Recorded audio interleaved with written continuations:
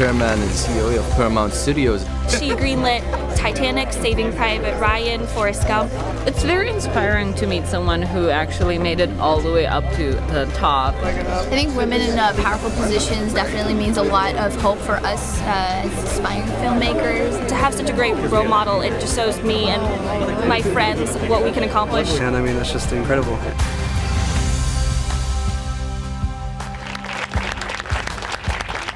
All right, my name's Eric Connor, uh, and I'm an instructor here. And thank you guys so much for coming and spending the night with us. Uh, so, Sherry Lansing. Wonder Woman doesn't have anything on Sherry Lansing. Miss Lansing began her career as an actress. She eventually moved to working behind the scenes, rising through the ranks, and became the first woman to head a major studio, 20th Century Fox, in 1980. That was not easy back then. It's not easy now it was not any easier in 1980. Um, as a producer, her credits include the hits Black Rain and Decent Proposal, along with two studio pictures that dared to be rather bold with their themes School Ties, which focused on anti Semitism, and uh, The Accused, about a woman trying to get justice after she's assaulted. But it's her work on Fatal Attraction, which exemplifies just what Miss Lansing could do. The movie went on to become a massive blockbuster. Basically, with Fatal Attraction, to quote her, she bet on herself and won.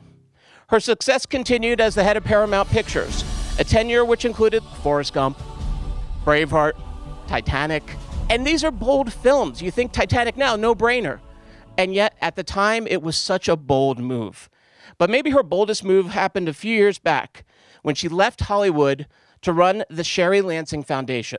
It's dedicated to funding and raising awareness for cancer research, health, public education, and encore career opportunities.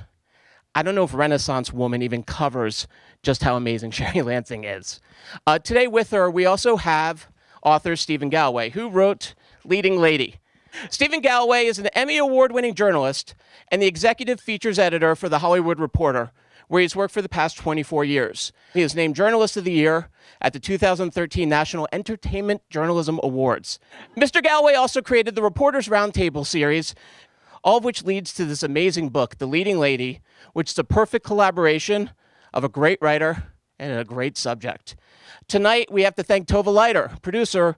Uh, she was an executive at Imagine, WB, and Cinergi.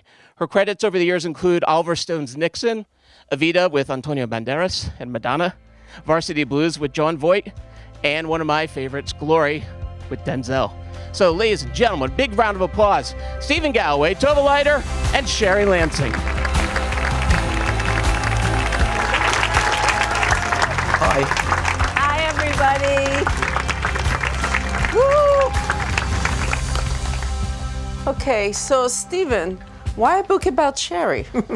As opposed to, let's say, George Clooney or somebody. Uh, That's a great by, question. By, um, by, the way, it's interesting because this project began with George Clooney. Um, really? I, I, yes, it did. I had written a profile of George Clooney, and Sherry called me, I think, from Vienna, where she was with her husband, William Friedkin, director of The Exorcist and Killer Joe, extraordinary director, and was very intrigued because the George Clooney as I, that I saw was not the George Clooney of the public. He's somebody who has great anguish and physical pain and massive insomnia. And Sherry was intrigued by this, and, uh, and we talked about it and then said, hey, well, let's have lunch. And then we started talking about her life.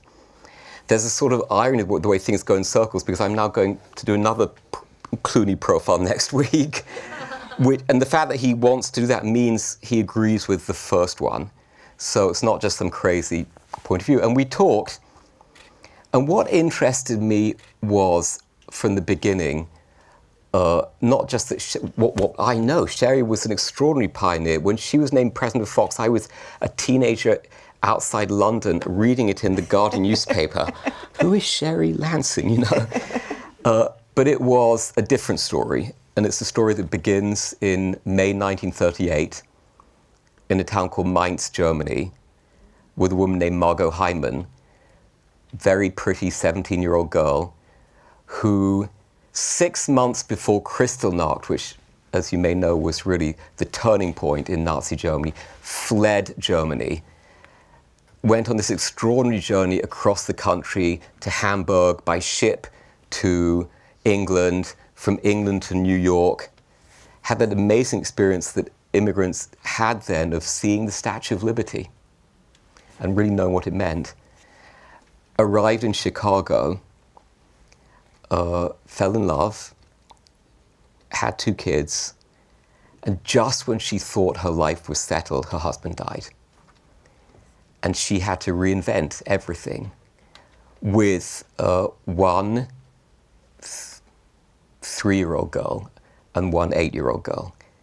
And the eight year old girl was Sherry. um, that's the story I wanted to tell.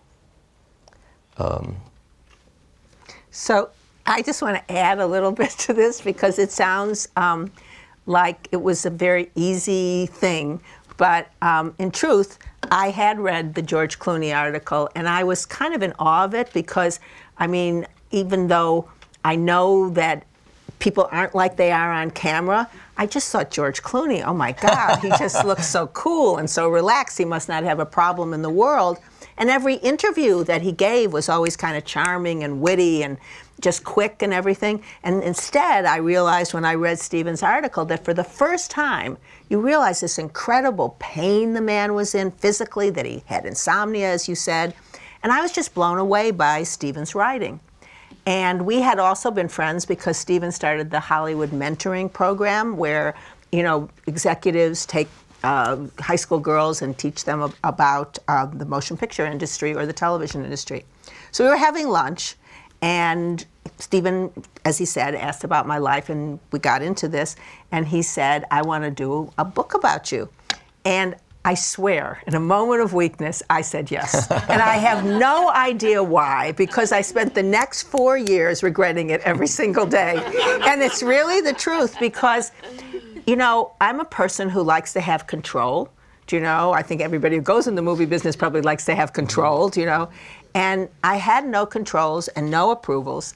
And so all I was doing was answering questions and cooperating. And so there was like a rhythm to this. I would meet with Stephen on a Saturday or Sunday. He would ask me questions. I would say, Why are you asking me about that? That's a terrible thing to ask me about. and then, Why don't you ask me about this? I'm not interested in that, Sherry, but why not? And then we would finish after three or four hours. And then the next thing would happen uh, Monday, I would be very depressed.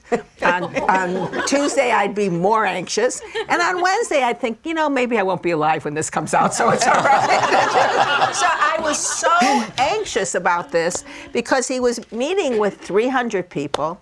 And it wasn't really until Christmas when I had the opportunity to read it that I thought I didn't have to move to Australia, that maybe I could stay here. But that was really the truth because it's very hard um, to turn over your life to somebody. Um, and as I've often said to Stephen, he's a wonderful reporter. He found out things that some I didn't even know. Um, but the things that I don't like about it are true. So there's nothing I can do. So there's um, there's a fear about many things. It's a fear of being the first woman chairman and president of a studio and all eyes of you. Their fear about greenlighting movies that are budget in the millions and millions. And reading the book, I see that you're not this superwoman that makes all this decision. That you, like George and every human being, have you know um, maybe you have to get over fears. Absolutely. And do. How do you get over fears? oh, good question. You know, I think you, you, you sometimes, just like I looked at George Clooney, you look at a person and you say, well, they, they didn't have any problems and their life was all smooth. And, and we do that about people we don't know. But the truth of the matter is, I was an enormously insecure young girl. I had very, very little self esteem. And I think what I had was an incredible desire to be better. But it didn't happen overnight. I mean, it was a long process. Um, I had a lot of guilt. I had, as I said, very little self esteem. And eventually, um, I realized that it was really interfering with my life. And so I went into therapy. And so I would say that that was the single most important gift I ever gave to myself. And in, in many ways, therapy, if you have a good therapist or a good friend or a good person in your church, a pastor, rabbi, whatever, it can be anybody. And you can really be honest and unburden yourself to that person, um, and it's a safe place. It's like reparenting yourself. And for me, I, I'm not suggesting that everybody should do that, but for me, it was the best gift I ever gave to myself. And I wouldn't be who I am today without that. I went for five years. I went three times a week. Um, I didn't start out going three times a week, but I realized it was maybe we should see each other more. And It's like chocolate. it's like you want it doesn't more. it doesn't end. This is what I really want to say. You know, we're all a work in progress, and um, you know, most of the time you're okay, and then every once in a while, for no reason, that 12-year-old just pops up.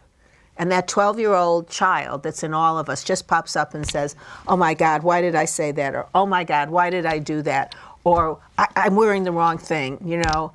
And it actually popped up a lot um, during the book because I was so afraid of what Stephen would write and how I would react that I went back to see the doctor.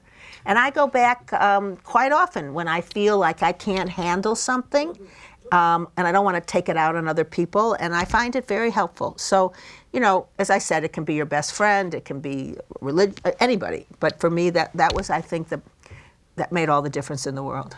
But I want to just address something you said, which is Sherry's not a Wonder Woman in the sense of not having human emotions. And I've always been intrigued by how people sort of contain their opposite.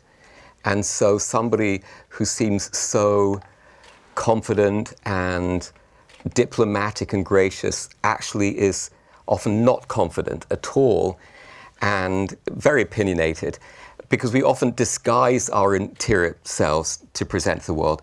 But here's what's exceptional about Sherry's story. There were no women running studios in 1980. There were no people talking about women running studios. Uh, there was one woman producer, I think, Julia Phillips, of, of any significance. But she was partnered with a man. and, and she was partnered with a, a man. Uh, so you have to be extraordinary to break those barriers. It- astonishing, and I, I think the book reveals how Sherry does, sh- sh- be- w- which is several gifts. One of them is just not letting these attacks land on you. It's extraordinary how Sherry Here's doesn't. what I really want to know because you have worked successfully with some of the toughest, most difficult, and volatile men in the business. So, how did you do that? No, she had a partner at Paramount, and we have another friend, Ruth.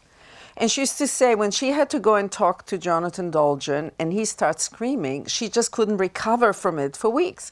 And I asked you, and you said, "Oh, it's like back back uh, background I- noise I to think, me." I, I think, I think That's one of- what she said. No, but most it is. volatile man. But- Well, first of all, I want to say I, I love John Dolgen. I think he's, you know, just an extraordinary person who, for me, raising your voice is like a style. I mean, that's it. You know, some people talk very softly and you have to lean in to hear them. Some people yell. My father, um, Norton, was was a, a man that was like that. And I remember as a kid, he was actually my stepfather, and so I remember as a kid, and I call him my second father. My, as a kid, I, I, he would suddenly erupt for reasons that I didn't understand, whatever. And my mother would like kind of look at him and she'd go, oh, oh, oh, look at that. Very angry, aren't you? And she'd start to laugh and she'd diffuse the whole thing. And I sort of saw that she wasn't frightened of it. My father, underneath it all, is one of the kindest, most decent people in the world. And so to me, when people would yell or talk very softly or get very excited, you know, I mean, every one of us has a certain style. So I saw that that was just a style. It was nothing to be frightened of. And, you know, so he raised his voice, you know, and that was who he was. But underneath it all, and this is really what I want to say all of these people that are described as difficult or, you know, they're not. I mean, some people are, I'm not saying that. But there are people it's very interesting to me. I was talking about this at lunch today. There are some people who have the best reputation in the world, and they would stab you in the back. Totally. They seem hmm. so nice I and agree. so charming, and they would stab you in the back. The thing that I knew about every single one of these people, which is one of the reasons that I love them, John Dolgen is a perfect example, Stanley Jaffe, whatever you want to name the people that are, quote, difficult, they're not. They had a style, but underneath it all, they had more integrity, more loyalty. They would never stab you in the back, and I always knew they had my back. And I always knew that I could trust them. So to me, if you say to me what's important when you're looking for a partner or you're looking for, you know, a friend or a husband or a wife or whatever, or, you know, whatever, it's loyalty, it's decency, it's integrity, it's the person that isn't going to turn on you. So, you know, And you, you asked ended up in Hollywood. Yes, but there are a lot of those people. But there are a lot of those people. I am. But, but you're you are very much one of those people, and Stephen's one of those people. And the thing, the other thing I want to say is that whenever things got tough for me, there were two things that.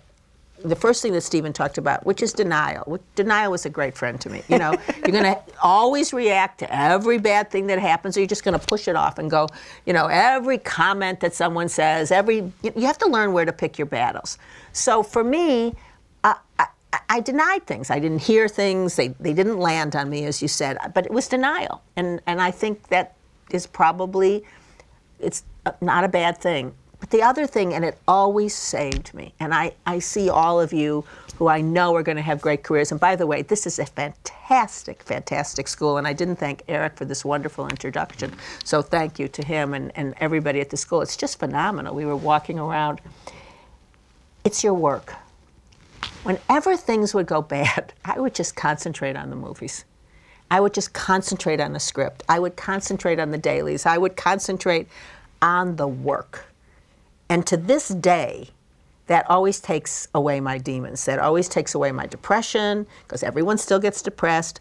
That'll take away your anxiety, hmm. is you start to do the work. Think about something other than yourself, and you forget. You forget that person that yelled at you. You forget, you know, the insult that you had, and you just concentrate on the one thing that you really care about. Because if you're in this business for any other reason than to make good, and by film I mean television, everything, I mean the whole thing, um, it will really hurt you if you're in for any other reason, you know. Still, uh, you entered the studio system as a reader, and then pretty rapidly you rose up in the ranks um, of uh, executive position when women in the industry weren't even, you know, allowed to get in.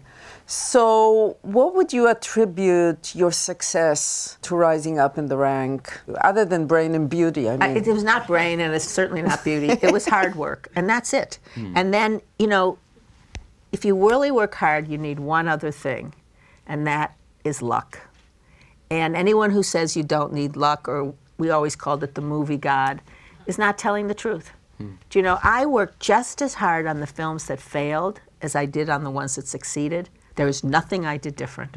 And I believed in most of them exactly the same.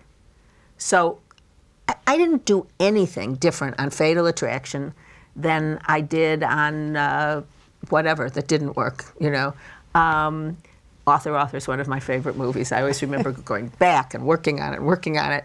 So sometimes you're in the zeitgeist, and sometimes you're in the zeitgeist, and sometimes it's because the movie's really good, and sometimes the movies that aren't really good are also in the zeitgeist and they do really well. Mm-hmm. Do you know? So I think you need to really work hard. There's no shortcut. And you need to be prepared to work, you know, seven days a week. You need to be prepared to work 24 hours a day. And if you don't want to, that is okay. But then you have to decide what you're going to be happy with for your career. And it doesn't have to be to be the head of the studio or, you know, to be a director or whatever it is. You, you can make choices, which are very valid choices. But if you do that, you need luck too. And I still remember when Michael Douglas won the Academy Award, and it sounds, it, it always stuck in my mind. And I thought it was just one of the most honest acceptance speeches I ever heard. And we had done uh, Fatal Attraction with him that year, and he'd also done Wall Street. But you forget that for years, He was Kirk Douglas's son, and he could not get a job. And he was considered not a good actor, and people would. I was there once when we were doing Fatal Attraction, and someone, you know, stopped him literally on the street and said, "I like your father much better." And Oh I my thought, God, what wow. is wrong with this person? And I turned to him and I said, "Well, I don't." So, it was, but it was like I just thought, "Oh my God, that burden that he had." And then I remember he used to say, No one takes me seriously, whatever. And then he won the Academy Award. And when he stood up there, he said, I got the part. There are as many talented people out there, and they didn't get the part. So what he was really saying is the movie God shined on me. I'm not the only I'm not the only person that could have run the studio. Believe you me, there were a lot of talented people. I'm not the only person that could have had the luck that I had, but I had the luck. In addition to really working hard. May I may I um, talk a little bit about? Yes, you were the very hard worker, but you had grace and you had respect for a lot of people.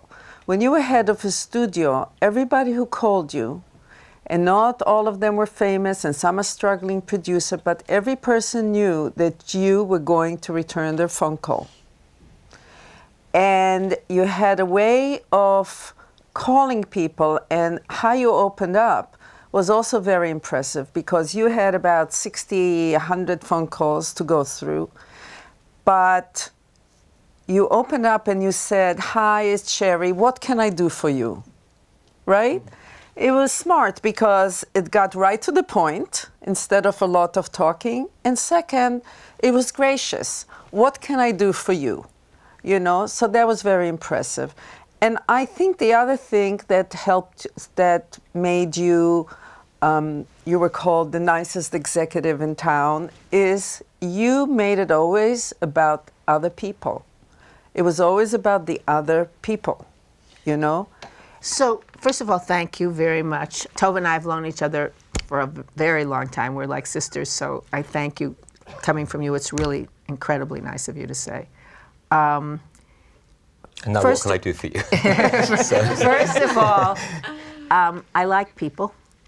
So that is just something that comes easy to me. I genuinely like people. There's almost no one I don't like. It would have to be somebody who was dishonest or deceitful. And second of all, returning every call is just good business because you don't know where that good idea is going to come from. You really don't. And you don't return the call. I think that's about the rudest thing that you could possibly do. It's just, you know, my favorite line in, in Fatal Attraction is, I won't be ignored, Dan. I mean, that is like, you know, it's just so rude and cruel to not treat someone with respect. And so if you just don't return their call, I think that is so terrible. And really, it isn't about the executive. The executive's job is to find the talent.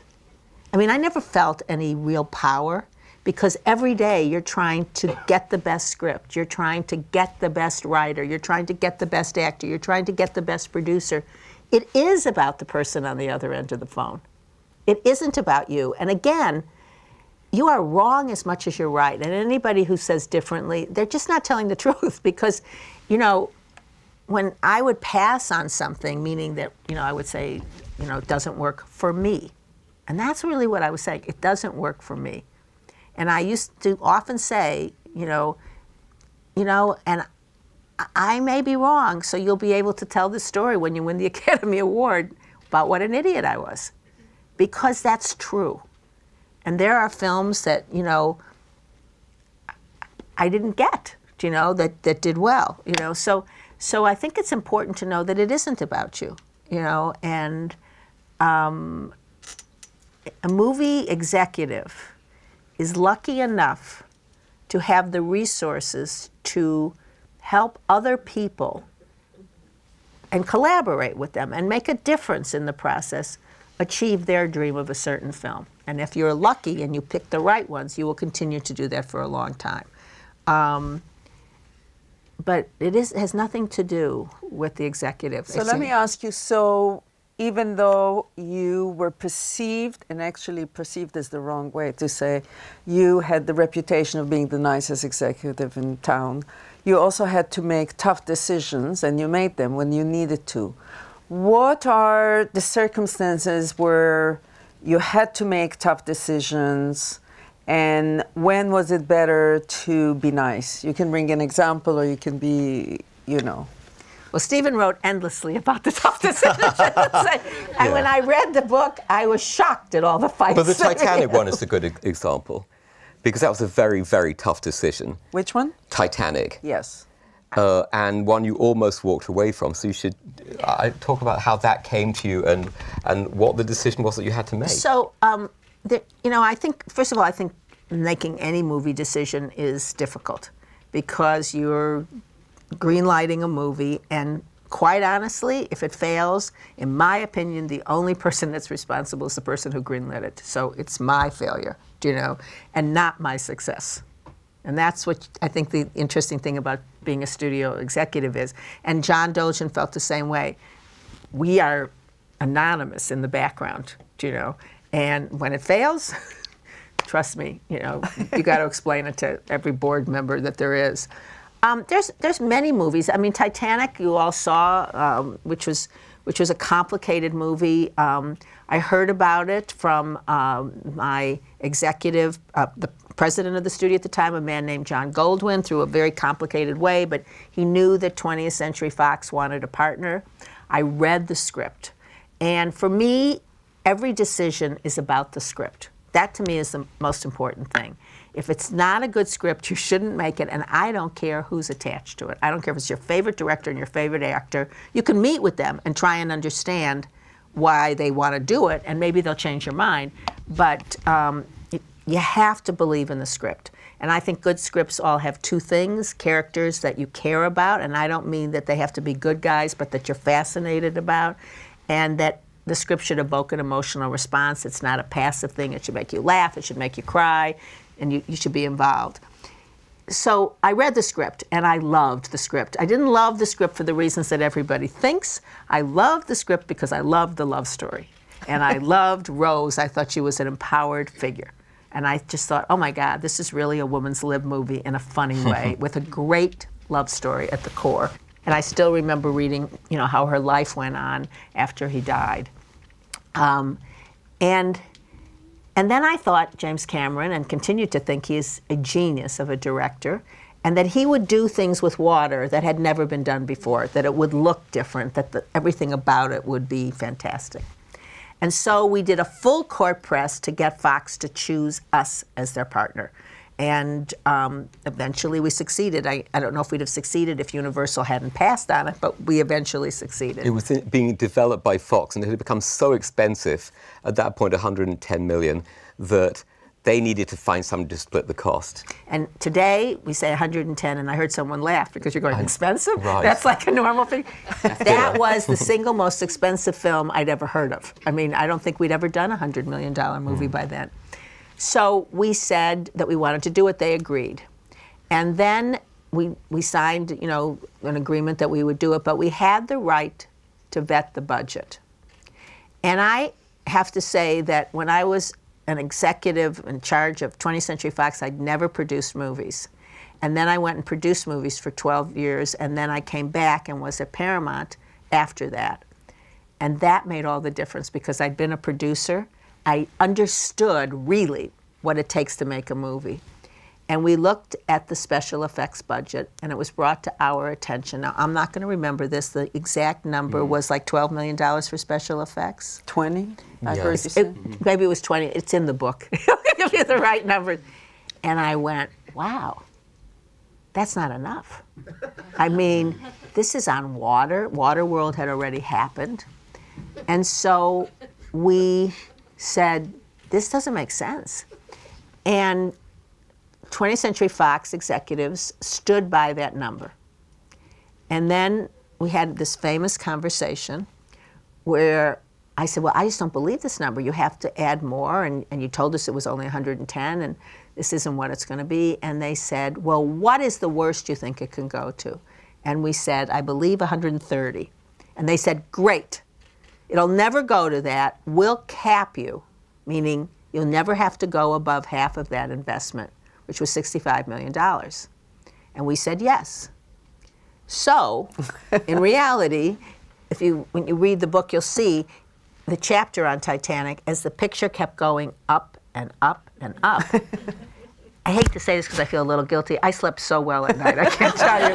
But I felt guilty. I I would call Bill Mechanic, who's an extraordinary executive, and I would say, I'm really so sorry. Is there anything we can do to help? He said, Well, you could give us more money. I said, Well, that we can't do to help. But, but I can give you sympathy. and it went to, I think, over $200 million. And um, today, you're going, eh, you know, but then everyone predicted that it was going to be the biggest disaster in the history of film. yes. And um, instead, it was the most successful film ever released uh, until he did Avatar after that, and he beat his own numbers. Yeah. I mean, the stress is enormous. You know, you, you've gone into, you've got to take the decision pretty much on your own.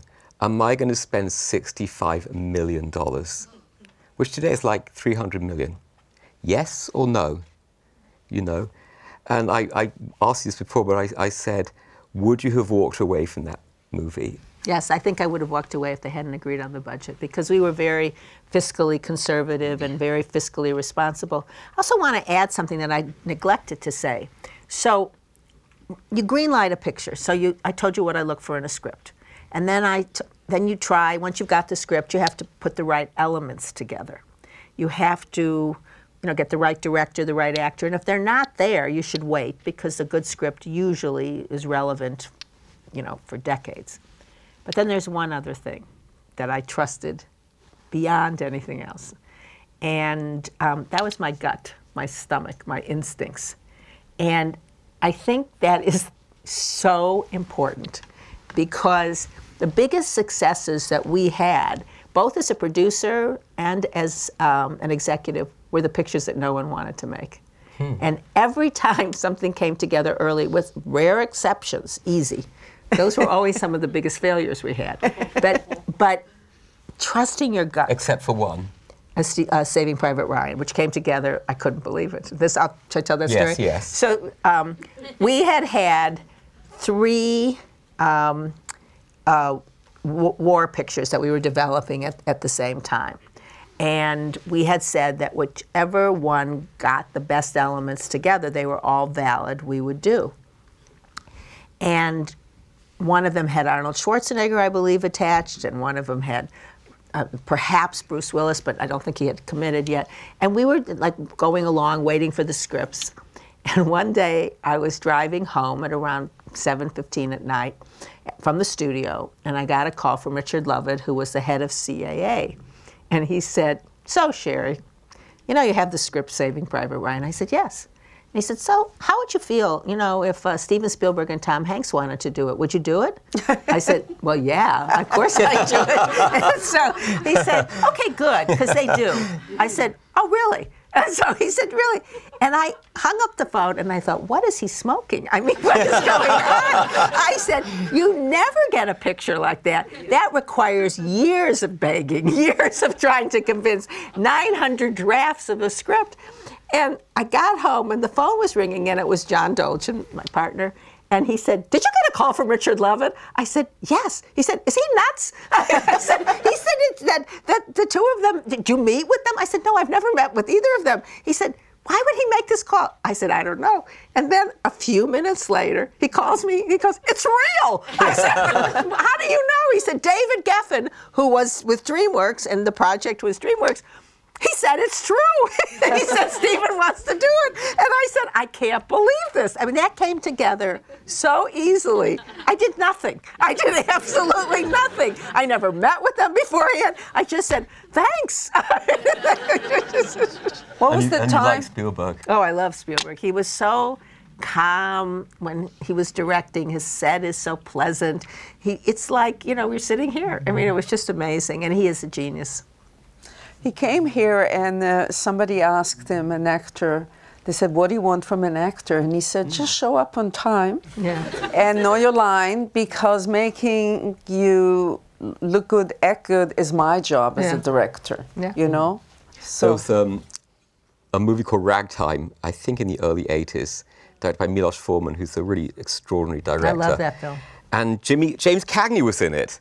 And there was a, a, a very promising African American actor, actually died young, um, who was in it. And, and he went up to Cagney and said, You know, um, Mr. Cagney, Mr. please t- tell me your secrets. And he said, Show up on time, Hit hit, your your mark." mark, and tell the truth.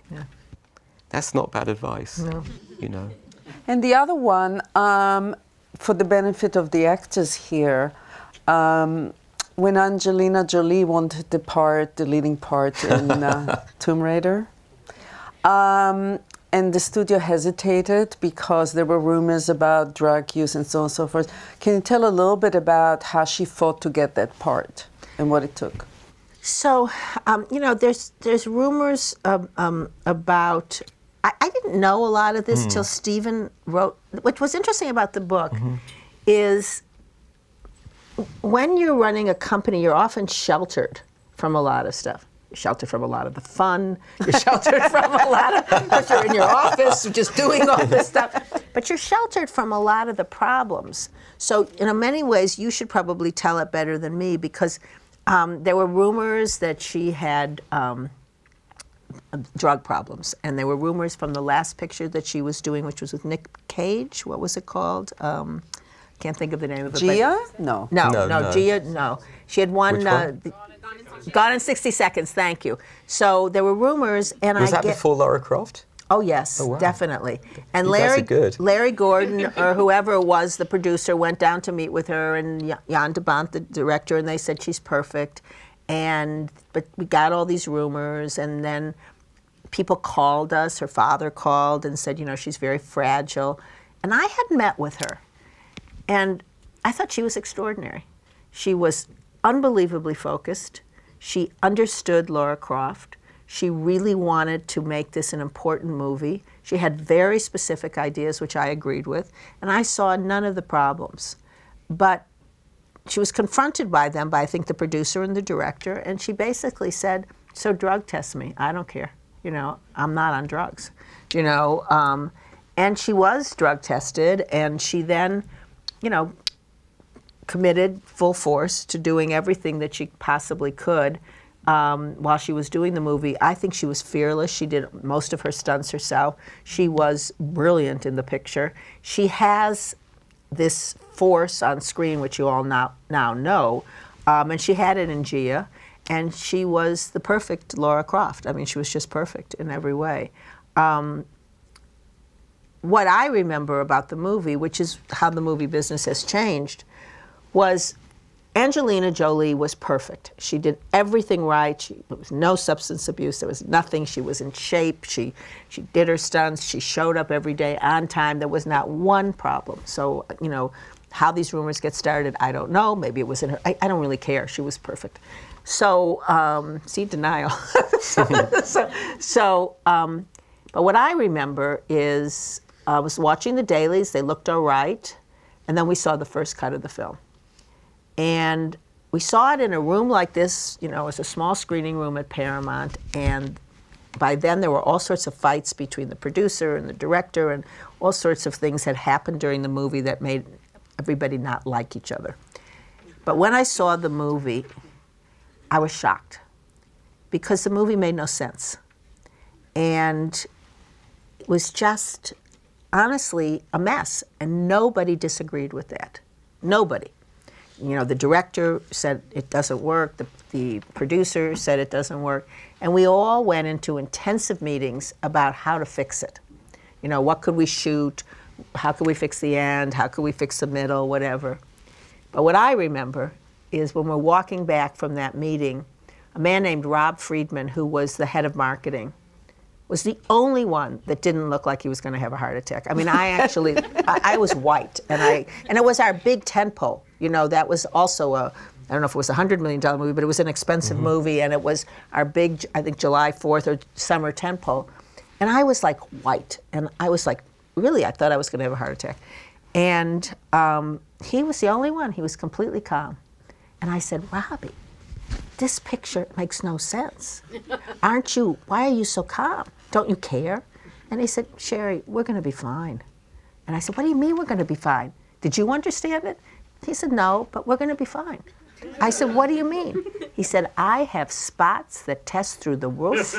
We're going to open at what was the number? 20, 20 plus, 28.6 or whatever the number he said, which was huge at that time. Still is pretty big today, but it was huge at that time. And we're going to do $130 million or whatever the number was.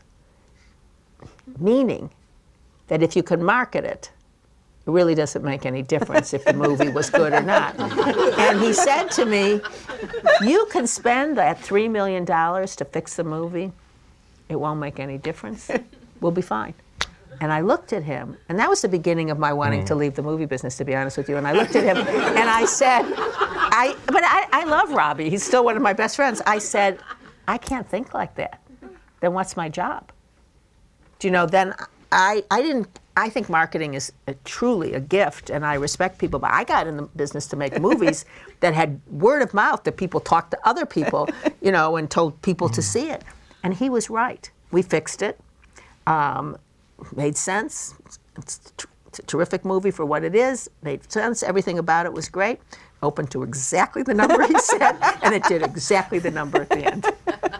So that was like, mm-hmm. wow. That, and that's how it's changed. And I think it's changed in the sense that it's harder and harder to make movies if you can't market them and get those spots there mm-hmm. that, you know, and also, you know, so much of the drama of dramatic movies have been taken over by the extraordinary things that are on television today that are just extraordinary. I mean, amazing. But the movie business today is really about these gigantic brands. And um, I had lunch with uh, one of the studio chiefs a couple of weeks ago, and, he was saying, I don't know what to do. He said, Disney with Marvel and Lucasfilm and Pixar, you know, and in-house Disney stuff, these things are such giant brands, and they pin their dates Yeah. sometimes two, three years in advance. And there's no, there's no great date to release your movie anymore, or you're going against one of these leviathans. And everybody keeps saying this is going to change. You know, speaking of Spielberg and Lucas, a couple of years ago they said Hollywood is making far too many of these massive Yes.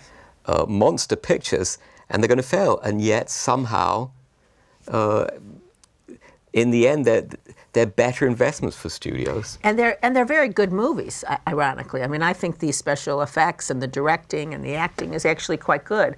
Um, but what always amazes me, and this this month is a good example of it.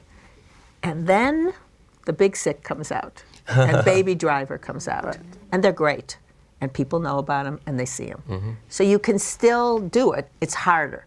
That was, I mean, I, I would.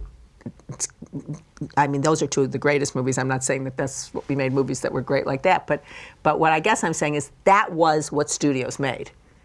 We just all used to make, you know, try to make something as good as The Big Sick and and Baby Driver. You know, We No, did no people, you, people made a variety of things.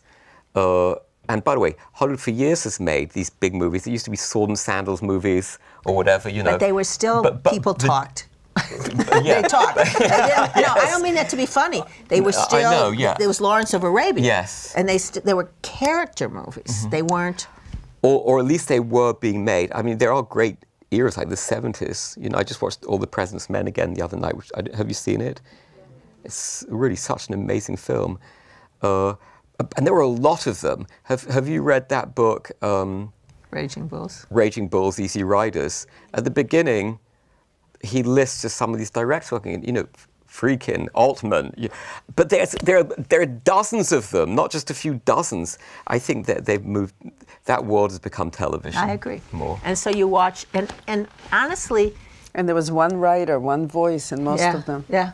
Yeah. You watch, uh, you watch 12 hours of, of a television show. It's very hard for a movie to compete with that because you can go into such. I mean, right now I'm living with *Handmaid's Tale*. I'm living with these people. I think they're at my house for dinner.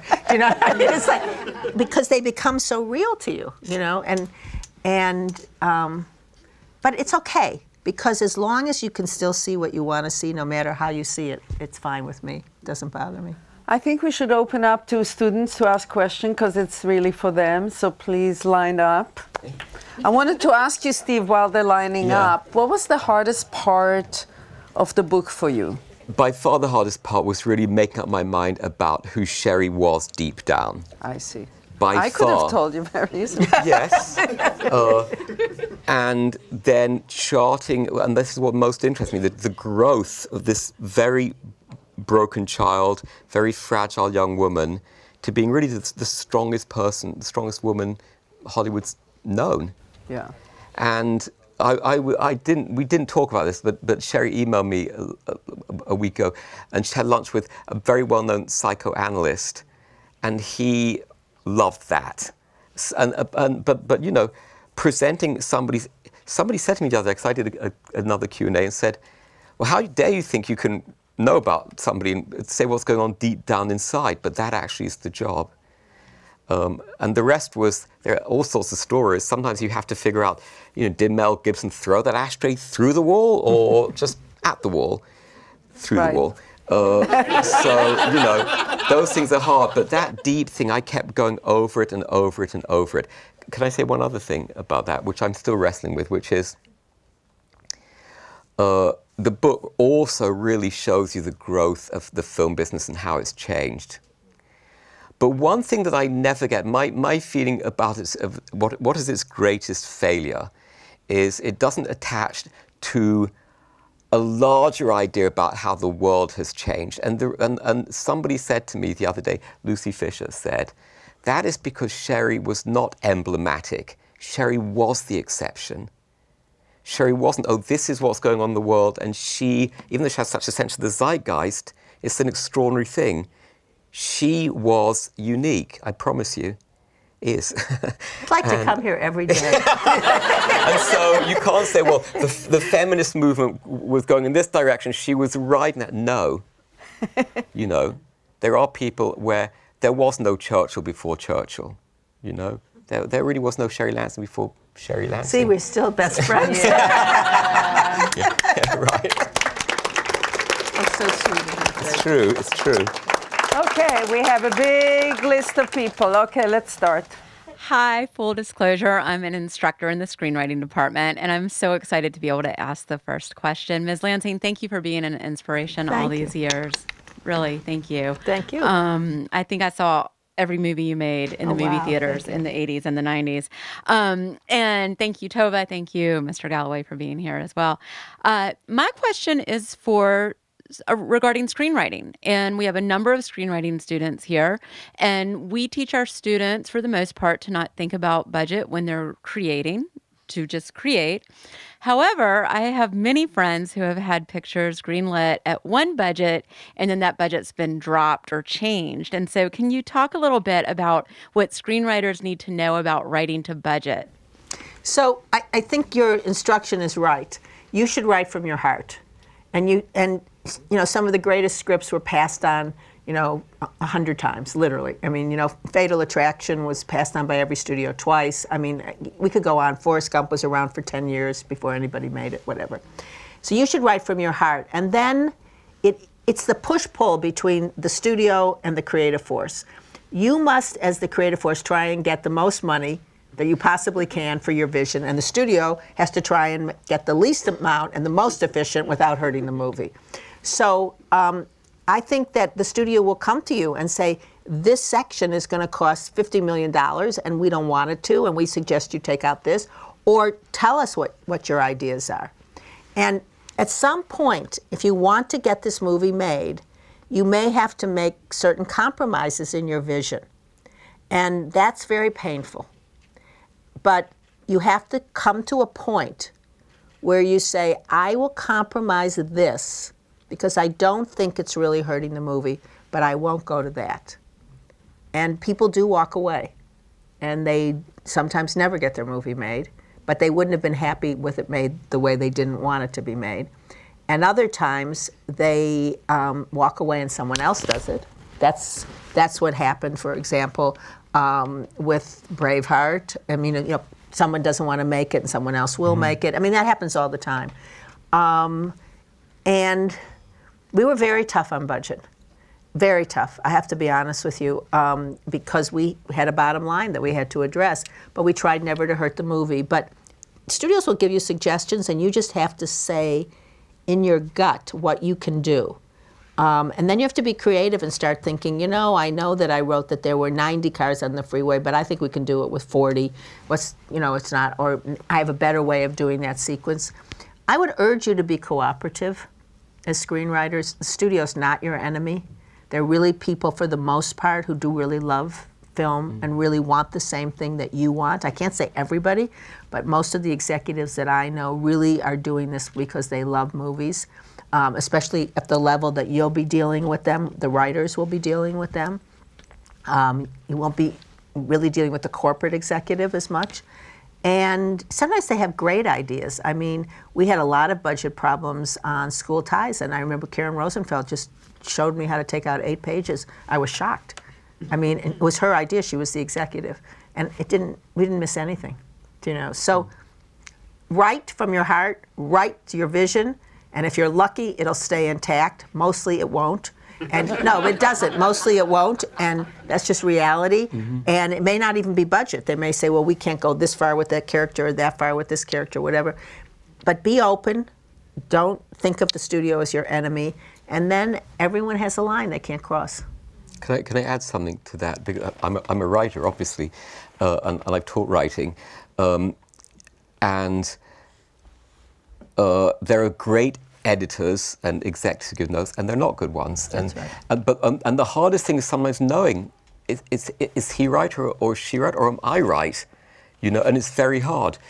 I will tell you, because I hire writers all the time, it's very difficult when they give you a hard time you know, and it's not really going to help your career. And one pro- and, and I keep saying to, to people, I, I, this with screenplays, but certainly with journalism, guess what? This after this article, there's always another one. So unless it's absolutely the one passion thing, like Sylvester Stallone with Rocky, where I will only do this, it, it, is good to, to compromise a tiny bit. Um, I'm just going to say one other thing about that, about writing. Uh, it bo- bothers me. Few writers today think, what is the point I want to convey? What is the actual idea about life in one sentence that I want people to come away from? You know, people look at the premise and will it sell on the, on the, on the, on the poster? But at the end of it, and, and the, re- the really great films do that. I, I loved Moonlight, which was made for one and a half million. I went to the very first screening at Telluride and was in love with that film. And at the end, I, I actually wrote a column about this. At the end, you, um, you come away with the idea that um, we're all, whether you're living in the ghetto, whether you're a drug addict, whether you're gay or straight, we're all looking for love. Yeah. You know? So think of the idea that will help drive it. Thank you so much. Can I also add one other thing? I- If you, s- I mean, this is the reality that you're facing. If you sell it to the studio, at some point they own it. Yes. And so you have to realize that if you're just saying no all the time, they will, and I, I can't blame them. They bought it. Do you know? They gave you the money. They will do it anyways. Do you know? So at some no, but they will because they bought it. You didn't have to sell it to them. No one held a gun to your head. Um, if you didn't sell it, that's okay. I mean, if you go into a meeting and they say, you know, they say we want to option this, but we want you, you know, to do this and this, and you go, but that's not the movie I want to do. That's okay. Then there's no hard feelings. But when you come, you at least have to say to them, can I try it this way? I mean, try, try and be mm-hmm. part of the team. Yeah. I mean, that's the best advice I can give. And then at some point, you have a right to say, you know, I, I- I can't really do this. I don't understand how to do this. Maybe you should bring someone else in. And then you have to, let's like, like letting go of your child that's going to college. And you have to say, okay, you know, it's all right. But it doesn't do you any good to just be an obstructionist. And sometimes it's great. I Sometimes not, you know, the, oh sorry, the, the, all the President's Men. You know, the, the, William Goldman, who wrote this. uh, Maybe you know that great book on screenwriting, which, is one- which is one of the definitive film books, Adventures in the Screen Trade. His experience on that movie was terrible. Yeah. Uh, you know, they took, they did this, they did that, they threw, you know, and I, I interviewed Robert Redford about. it. He said. He didn't write it. We, we were. I wrote it, you know, and yet that film is a great film. Absolutely. Yes. I actually one time I was very impressed with the female director who came in and there was a note that I saw clearly that she just she thought it was a bad note. Instead of saying ah, what stupid people bad note, she said can you tell me what really bothers you? What really bothers you mm-hmm. about That's right. Yeah. that Yes. point? great. Because maybe mm-hmm. I can get Yes. solve it in a different way. I mm-hmm. can come back at it in a different way than what the executive That's great. suggested. That's great. And I was very impressed with that. Yeah. And then everyone will say that everyone will love that. That's why Tova's a terrific producer. Everyone will love that.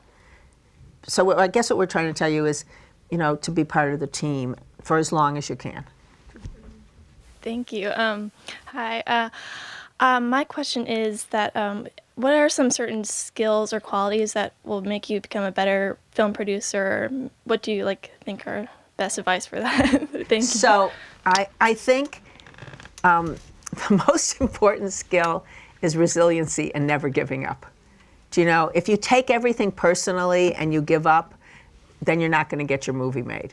Um, but resiliency, the ability to understand that it's not you, you know, and that if you, I always thought if, if everyone's telling me no and I still want to do it, I must be right, you know, rather than I must be wrong, do you know? So you have to obviously know script. You have to obviously, that's to me was the most important thing. Script. Someone else might say, well, you have to ha- be able to package it. I didn't think that was the most important thing. But for me, when I think about the movies that I produced, I think about how difficult it was to get The Accused and Fatal Attraction made and how the success came because we never gave up. I mean, they were around for years. People tried to, to talk us out of it. You know, uh, an agent took my partner Stanley and I, you know, to dinner and said, you know, you have to give up on these two movies. You know, no one wants to make them. How many times do they have to be passed on by how many studios? and just let it go. And we're going to put you in some comedies. And I thought, that's not why I want to be a producer. I want to do these two movies. So it doesn't mean that you shouldn't listen to what people were saying, but if it doesn't ring true to you and you're the producer, then I would say I would say concentrate on the script and have resiliency and never give up. Thank you so much. Hi, my name is Oliver. I'm a filmmaker and TV producer from Switzerland. Uh, my question is how can you become um, executive in a major studio? Do you have to do everything for that job? Um, are, do, uh, can you dare to say no to certain tasks before that? Because I think it's very difficult to become uh, an executive in a major studio. How you create a path within the industry uh, is, is a tricky thing, and there are ways. And I want to make it clear to everybody there is the studio industry and the network industry, and there is the independent world. And so the first thing is you, you, you have to have that taste and that mindset. You know, uh, if I want to be an executive, I, I'm never going to know which version of the War of the Planet of the Apes script is the good one. I'm just not. You know? So that's the first thing. Uh, starting out in one of the agencies is a great way because you're going to learn, number one, who's who everywhere. You're going to learn about the mechanics of the industry that you need to know. Um, you're going to learn the entire lay of the land and the different elements. That, that is the first step. Um, it's rare that you become just a producer and then become an executive because you're part of a giant system then. Uh, I, I think, however, that, that that aside, knowledge is power. And most of you come in ne- without necessarily great resumes, but you may be able to go and say, you know, this is how um, Godfather Part 2 handled this problem. Maybe we can learn from that. It's the great thing you can. So, one of my colleagues at the Hollywood Reporter, Scott Feinberg, who's a very good um, reporter, when he was in his teens, became interested in, in watching the Oscars. And so he decided one day, I want to know which films won the Oscars. And he went on a list and got all the films. Went, I think he got the AFI list of the top 100 films and watched them. And then he found out which ones won awards. And he's become the, one of the leading experts on that. When Sherry started, uh, first of all, she loved film. Uh, and she was in sync with what were mainstream films, you know, so as you might be today. Uh, and uh, then she got a mentor who was teaching her about reading, and then she got a job at MGM. So, what did she do while she was at MGM? She went down into the vault every day and found a film to watch and educated herself. And all these great studio films she knew. And that was a great asset. So I, I would only amplify what Stephen said. I think what he said initially is also very important. There's two businesses today, actually three. I mean, Mm-hmm. there's television, Television. and there's independent film, and there's studio films. So you first have to uh, find where your sensibility is, and usually it's in one of the three. Yeah. You know, maybe two, but usually one of the three. Um, and being an, I think there are many pathways. So this is where I will amplify. Um, there are many stories. So being an agent is one way. Um, working for a producer whose work you admire. You know, um, that was what I, I was a reader, but then eventually I worked for a producer. And actually, before I, I, I was a reader for a producer I admired. That was the first job I did, but I admired his films. So this man became like a mentor to me because I listened to what he was saying. I watched movies, whatever. But there, there's producers. I always say to people when they come to me and they ask for advice, I say, well, whose work do you admire? It can be a director if you want to be a director. Try and carry the coffee in that place if that's the first job you can get. Try and be a reader. Try and do that. Um, so that's possible. Other people become heads of studios from business affairs. That's another way. So it just depends on mm-hmm. what it is that you're interested in.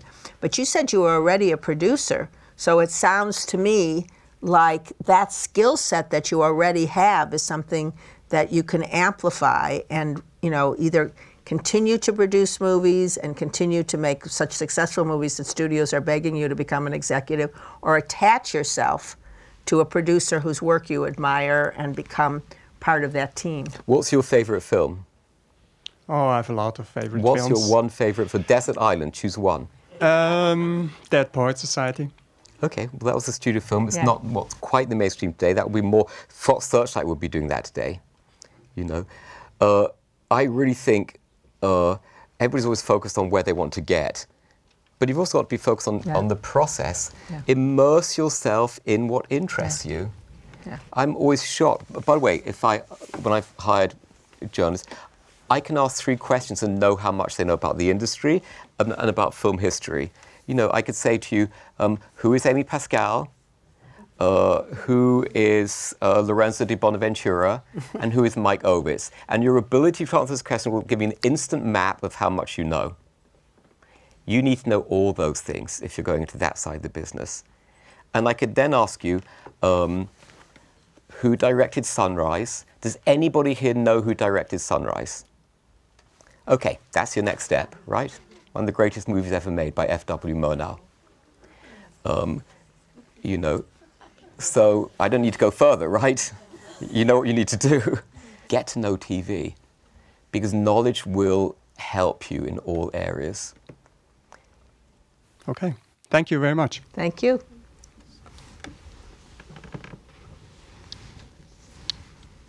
Uh, hello, I'm Sean. I'm in the four week filmmaking program, and I just had a question. Um, I was wondering what are some of the biggest financial issues you've run into at Paramount, and how did you deal with them?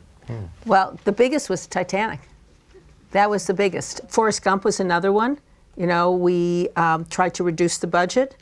Um, they're still angry about it today. I read And they made 40 million each on it. I was kind of shocked when I read the book that they were still angry. I went, "Oh my God, you won the Academy Award, you made fortunes," but we really they're still angry because and and um, This is Sh- Sherry's least favorite chapter in the book, the one about Forrest Gump. It is. I just want to say, you're still mad, really? but, um, you know, I think um, Braveheart, we, you know, uh, sold, not sold, we partnered um, the foreign rights. So every time we had a budget that we couldn't do on our own, we, and, and actually, I would have to say that Jon Dolgen really was the father of um, partnership with other studios, the father of selling foreign rights, all that to protect the downside risks because we knew we weren't going to be right all the time. And you know, if you're making a movie that's $100 million and that movie does $5 million at the box office, it can ruin your whole year. So we tried to treat it a little bit like a portfolio and spread the risk while still keeping the majority of the picture for ourselves. Um, but that philosophy of partnering was scorned when we started it, and everybody thought it was terrible, and now everybody Everyone's- does it. so it was just, you know. But you're dealing with a billion dollar budget you every ca- you year. have to. You know, you've got You have to. DVDs, you've got foreign Yeah. releases, you've got cable. Now, you know, the revenue stream, revenue stream of a movie today, you know, one seventh of it comes from a domestic theatrical release or something. So, and it comes in over seven years. So you've got cable, uh, home entertainment, broadcast television. You, you have so many other areas. Plus now, and this is what, what, why Robert Iger's been so successful at, at Disney in understanding uh, if I buy Star Wars, I'm not only going to make spin-offs, I can change the a Disney park and create billions more. Um, a few years ago, does anybody know who Ted Turner is? A truly brilliant executive, very fascinating man. He decided to buy a, a, a library of films.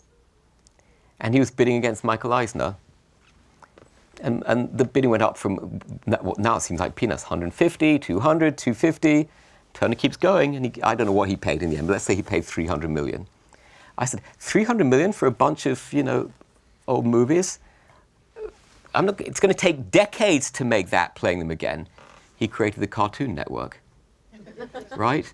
So that is what the, the, the He business also is created. about now. He also had an idea that everyone thought was insane: 24-hour news. And you thought, who would Yes. want to listen to the news 24 hours? And there you go, CNN. But I, I, I want to say that it's very important. We never made a decision to greenlight a movie based solely on the numbers. In other words, you cannot let the numbers drive your decision. First, you you decide you want to make the movie because you love the script, you love the director, you love the actors, whatever the, you know, your gut tells you this is going to be a movie that you think is you love. Then you have to apply fiscal responsibility. So if you love it and you think it should cost $20 million and it's going to cost $200 million, and there's no way that the writers can help you because that's just what it is, you put it on the shelf and you wait. Do you know? If you, you know, so so those decisions are part and parcel of every green light that you make, and they can be little ones. You maybe you should think it should cost seven million dollars, and it's going to cost seventeen. You still can't make it, you know. So it's not just the big ones. Good question. All right. Thank you. Thanks. Hi. I just wanted to know what you guys love about telling stories. Oh, great question. I love the process, and I think you know Stephen referred to that. I love probably was my favorite part sitting in a room with an idea and sitting with a writer and trying to figure out the characters and what they would do and trying to find the truth in the story. And then as the film was made, part of the story making is the editing because I, I honestly think if I was starting all over again, I'd probably be an editor because I find that the most mm-hmm. interesting thing to do, and I just think you can change an entire film. Do You know, you can change performances, you can change the emotional impact. And then the best part of all is if you're lucky enough that the film works and you see how it has affected people's emotions and sometimes even society, social change. And you think back to great films, you know, Gentleman's Agreement, you know, The Pawnbroker, you know, films. China Syndrome, China which you Syndrome, you know, which you, you know, um, you know, and in the introduction when he said, you know, I, I don't think men will cheat quite the same after Fatal Attraction. I mean, those things are really important when you think to yourself, my God, I've made something that maybe will stand the test of time and maybe change people's relationships, you know, or change social movements, you know. Uh, you know, I- think more people became journalists after seeing All the President's Men. More people became lawyers after seeing um, uh, uh, To Kill a Mockingbird. Um, so to see that impact is thrilling. That's wonderful. And sir, sorry, what do you think? Well, I just have a brief. I mean, storytelling is pointless unless the meaning is underneath. So that's really just the way you convey certain ideas. But what I happen to love, because I love the writing, I don't love reporting, I don't love interviewing. I love writing and just picking the right words. And I love it when I cheat and manipulate an audience and they don't know. you know? And they don't know. And I had um, lunch with, you know, Bob Gazzale, who's the head of the AFI, whom I like very much. And he said, the end of the book, it's so moving. Everyone said I was in tears. It's not the end of the book, it's the preceding scene that hits you. You, you know, uh, the, I'll tell you the end of the book. Sherry was won an Oscar, was given an honorary Oscar for her philanthropy. And it ends with her picking up the Oscar, and everyone's rah, rah, rah. But it only hits you because the scene before has taken you down. And then you come up like a diving board. And I was like, hee hee hee. That's I never told Sherry these things, you know. I'm exposing myself. But, you, but Stephen is a brilliant writer. I have to say that. I mean, you are a brilliant writer. Thank you. It was a very I was very lucky book. that that he chose to do my life, you know. Which, by the way, is just beginning. So let's get that clear. it's true. There's going to be a sequel. No, the best is the best is now. Can I just say something, which is um, one of the most interesting things about the book and about life is you're not the same at 25 as you are at 40 or at 60. And the reason people in the industry are really fascinated by the book is at 60 years old, Sherry said, I'm leaving. At the height of her power, I'm going into a different business. I'm going into the nonprofit world. And the idea that you can reinvent your whole life. You know, she was the chairman of the Board of Regents at the University of California, raised half a billion for cancer. The idea that most, I'm 58, so I can kind of imagine, you know, I'm kind of close. But it's, for the young people here, it's unimaginable that you can do that. But it will happen. You will change. So I'm gonna. I guess we're supposed to end pretty soon, but I'm gonna Oh. e- end with my favorite story about being in the not-for-profit world because you're so young, that um, I think that you'll probably relate to it. So um, I'm 73, which I know must seem to all of you, and I actually am. Actually, not 73. I'm actually 72, but I'm getting prepared to be 73. I say it In a couple of weeks. because in a couple of weeks, so I can like actually not just go, oh my God, how did that happen? Someone said, I knew I would get old, I just didn't think it would happen so fast. But, anyways, that must seem like 110 to you. And one of the most humbling things, and it's, it's about change and it's about age. And, you know, think back what you were like when you were 13, and then what you were, you know, when you're 20, and pretty soon, you know, when you're 30 and 40, you just will be a different person. Hopefully. I mean, that's what life is about. It's evolving, it's about chapters, it's about change, it's about growth. But I was, I think the biggest problem facing our industry is ageism, actually, not, you know, um, race and gender. I think it's actually ageism. And when people turn 40 in our industry, they're considered, that's it, they're, they're done. And I think that's so sad, I can't tell you. But so I had this idea of this program, and when I entered into the not-for-profit world, which I did not assume would had, have have that problem. Do you know? I mean, some of the greatest philanthropists are very old, or people older than me even. And so I thought, well, this can't possibly be it. And I was 60 at the time, and I wanted to take people who were 55 and up and retrain them to be math and science teachers who, who were retiring, that they should rewire, not retire and this is my favorite story. And so, um, uh, and I don't think it's in the book. Is it in the book? No, I don't know. So I, I will, I just, you have to tell me. So um, I said um, to a group of people It's certainly gonna in the that, were, that were about 30. The oldest person was 30, 35, because that was the, you know, like, the, I wanted to do the flip of Teach for America. And they were all there. We would all been appointed by the governor to solve the problem of why there weren't any more math and science teachers and how could we get people. And I said, well, we can get this demographic who's 55 to rewire, not retire. And they looked at me like I was insane. And they said, a 60 year old person, you're going to retrain them to be a teacher? I said, yes. And they said, what are they going to do? Drool all over the floor? And I said, whoa. And then I said, well, I'm 60. Not a reaction. Not a reaction. Not, oh my God, you, You don't look so look young. it. Nothing. Nothing. They had already decided I was 110. And so not a reaction at all. So I just, after going, okay, this is really difficult, I went back that night and I came back the next day and I said, and this was, you know, as I said over a decade ago, I said, so imagine what they say today. I said, you know, Mick Jagger is 61 and he could teach. And if he can jump up and down, then he could teach. And they went, You're right. And then they bought the program. I needed Mick Jagger from the entertainment industry to say, to say. So I think what Stephen said, and it is a, is a good way, you know, is, is that you guys um, are at a wonderful school. Your life is ahead of you, and so is mine, and so is Stephen's. and and you are going to, you're getting educated in this extraordinary school with extraordinary teachers, some of whom we met, Tova being one, and you have unlimited options. And anything you dream of, you can make happen. And we're going to be going to your movies or watching your television. And I just wish you all the greatest luck in the world.